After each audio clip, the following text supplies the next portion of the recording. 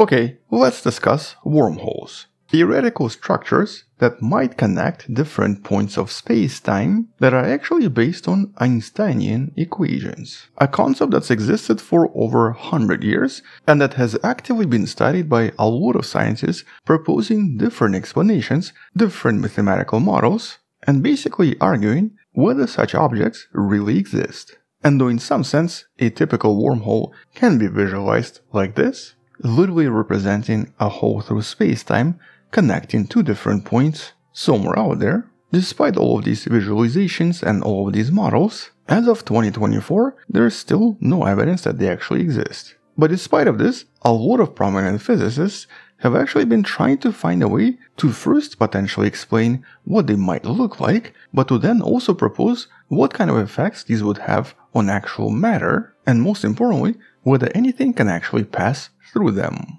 And though obviously one day this would be the ultimate goal. According to most modern theories, this is probably impossible, and mostly for several reasons.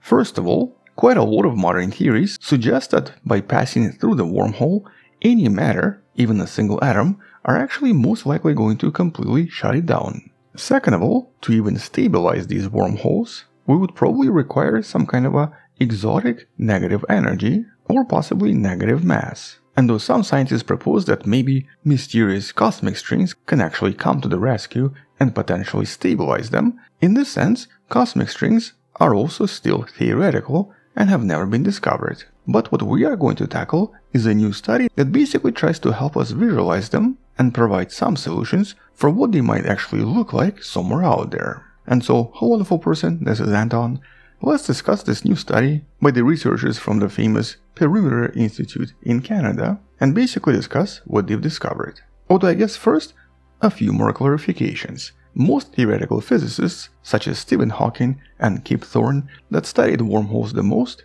basically agreed that there might be two types traversable wormholes and non traversable wormholes. In other words, there are wormholes that you can maybe travel through, potentially reaching some kind of a different area or maybe even a different universe, which is basically your typical wormhole from any science fiction. But once again, these scientists have also agreed that you would definitely need something exotic to stabilize them and to prevent their mouth from shutting down. With the overall conclusion being that it's quite likely that if these wormholes do exist, they possibly exist for like a fraction of a second, or possibly existed in the early universe, and all basically shut down. But some of them could be microscopic, and these could be possible without any exotic matter. But they would still require certain charge particles, once again in order to stabilize everything. And this is actually something that was proposed by Kip Thorne a while back.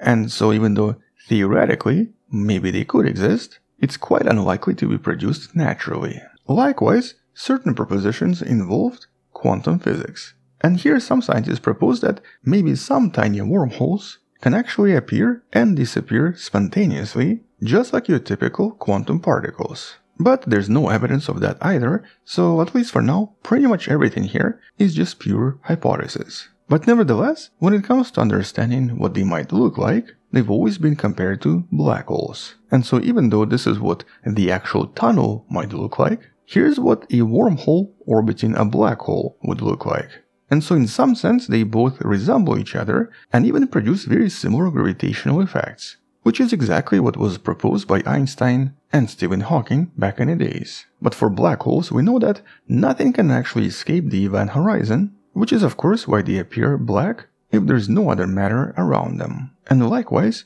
in some definitions of a wormhole, maybe nothing can actually travel through it either.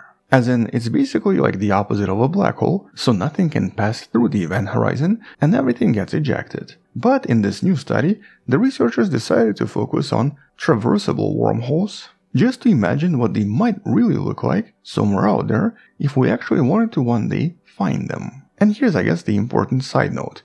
So far, based on all the previous propositions, nothing out there resembles any wormhole whatsoever we see a lot of black holes, we see a lot of neutron stars, we actually see a lot of things that can usually be explained by using modern physics, but so far, not a single object out there resembled any wormhole. And so maybe they just don't exist. But in this study, the scientists see this a little bit differently, and they actually do propose something that we might be able to see after all. And here they basically focus on two separate parts, or I guess two separate mouths, with one of these mouths basically acting like a typical black hole. Because it has a lot of mass, it starts to accrete matter and even potentially creates some kind of an accretion disk. But a lot of this falling matter then basically gets trapped inside the throat, in essence forming a rotating cloud very very similar to an accretion disk. But unlike a black hole, it would also have an extremely bright center, formed by super hot plasma stuck inside of this throat, because all of this matter suddenly gets condensed to really high densities and really high pressures, and essentially forms plasma extremely similar to a typical star. And this might even start nuclear reaction, producing ridiculously high temperatures, which essentially means that traveling through this wormhole would be kind of impossible. Anything approaching this would very likely experience the same effects as entering the center of a star, which basically means it would get burned instantly. And if this wormhole is large enough, it might even produce something resembling a super hot star, which is maybe one way we could actually detect this, by detecting exotic stars that seem to glow in a very unusual way and potentially have an accretion disk around them, it would hint at the existence of these objects.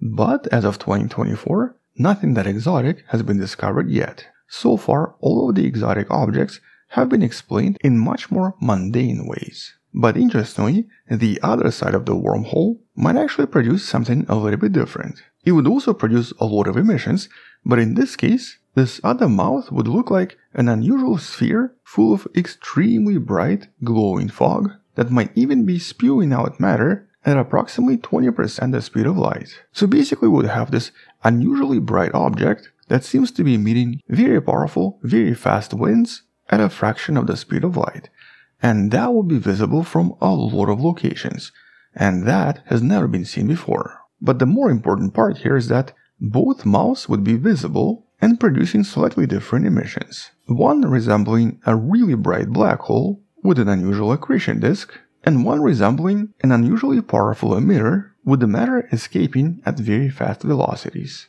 And so if one day we find an exotic object that seems to produce these emissions, I'm sure everyone is going to start talking about this study once again. But for now this is all just modeling, just hypothesis, and actually a hypothesis with a few shortcomings. For example here, by passing through the wormhole, any matter will probably destabilize it, thus changing the emissions over time, or possibly even collapsing the wormhole if enough mass passes through it. Likewise, any plasma that passes through this will obviously have its own mass, and this will create too many instabilities, very likely causing a lot of changes inside and outside, which have not been simulated in this case. And so in that sense, traversable wormholes are actually still kind of difficult to explain, and based on the visual evidence, potentially don't exist at all. But non-traversable wormholes could exist and could resemble black holes, and those we've discovered pretty much everywhere. Either way, this is still a somewhat exciting study because it basically finally shows us what we can technically look for if we physically wanted to find one of these objects somewhere out there. And actually, for all we know, maybe one of these will be discovered, or possibly has been discovered, but was actually misidentified as something else over time. And so once there are some updates about this, or someone actually discovers something that resembles one of these objects, we'll come back and talk more about this in one of the future videos. Until then, thank you for watching, subscribe, share this with someone who loves learning about space and sciences, come back tomorrow to learn something else, support the channel on Patreon by joining the channel membership or by buying the wonderful person t-shirt you can find in the description. Stay wonderful, I'll see you tomorrow, and as always, bye bye.